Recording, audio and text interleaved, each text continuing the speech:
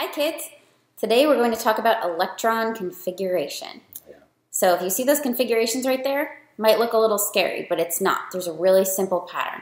So let's get right into it. All right. So, So if we we- look here, Mhm. what we got? So I see S, D, P, F, just like we talked about, different orbitals.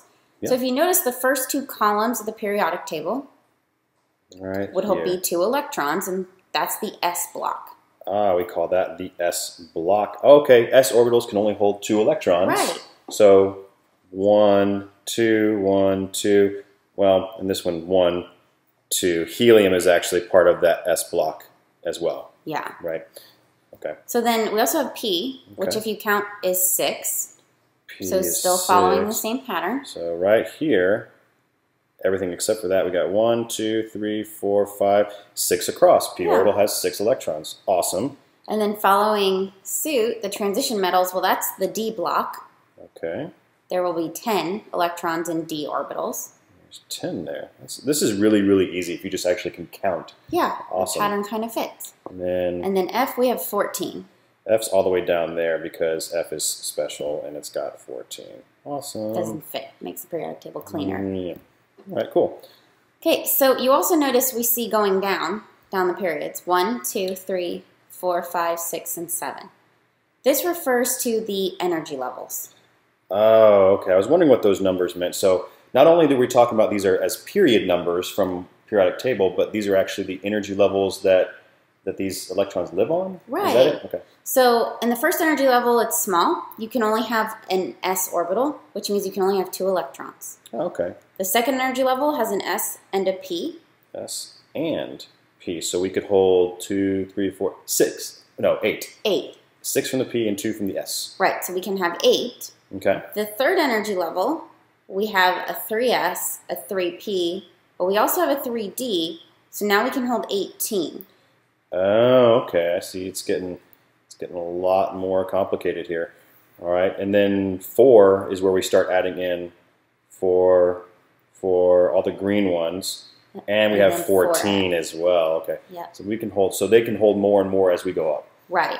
Okay. So then, when we're doing electron configuration, we're writing the essentially the address of where all the electrons are. Okay. So let's practice one.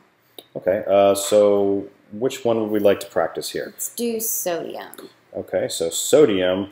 We need to actually know where sodium lives, right? Three. So sodium is right here. And you guys, this mismatches your periodic table exactly. So just so you know. So sodium is right here. Um, does sodium have just that electron? Nope, that's going to be the last electron, so we know it's going to end at 3s1.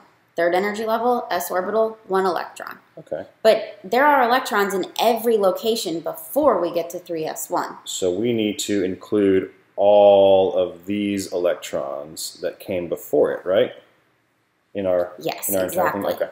So so tell me here. So we're working with this again. So how do I do that? How do I write it? So you would write 1s2, So starting with the 1s orbital, I have both this one and this one, right? Right. So 2. You don't have to write 1s1 because when you say 2, you know there's two electrons there. Okay. So next I would go with what? What's what comes next if I read it like a book? 2s2, 2s1 2. 2p6 because we filled the whole Okay. p orbital.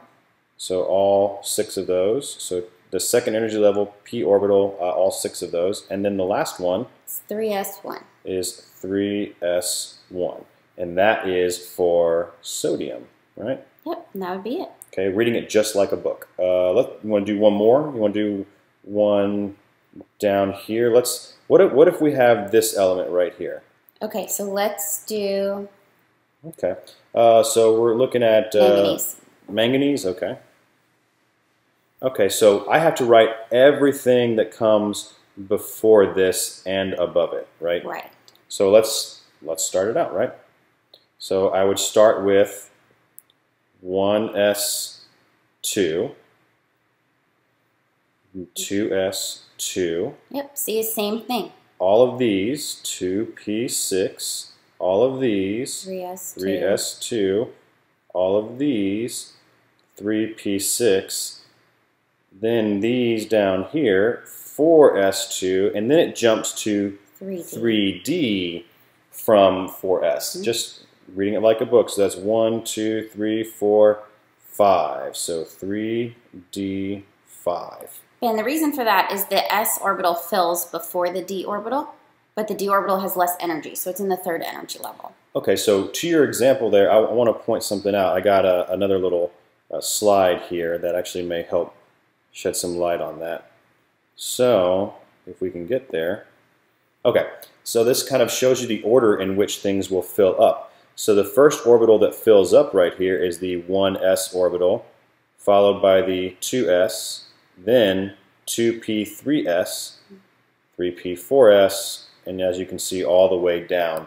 And that's the order that they actually fill up. This shows you over here the energy levels and, and uh, how much energy they have going all the way up. Right. So noble gas configuration. Ah, yes. There is a shortcut. Okay, let's let's clear this. And why don't we? So let's write sodium again. Or actually, let's do aluminum. Okay, so actually, let me go backwards. Let's hold on a second. I'll edit this back.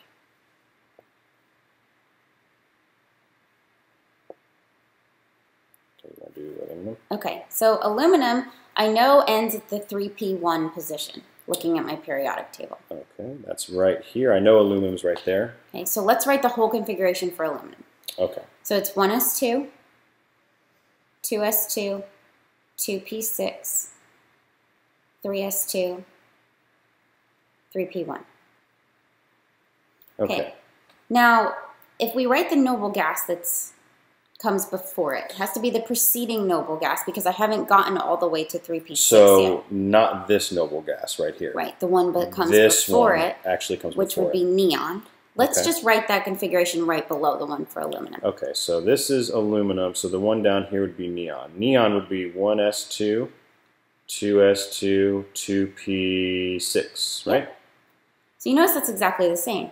Yeah. So, So we can replace 1s2, 2s2, 2p6 with neon in Oh, brackets so to say, okay, neon. this right here is already the same thing as what neon was. Okay, so instead of that, let me just kind of erase here. Instead of writing all that stuff that was already neon, I'll leave that right there, I can just write neon Yep, 3s2, 3p1 Yep. because it's exactly the same. yep. So you go to neon and then you go past it three spots. Okay. This takes a lot of practice, guys, so don't get frustrated, but uh, we're here to help you. Just let's, uh, you just got to plug through practice problems. I'm sorry. Sounds good.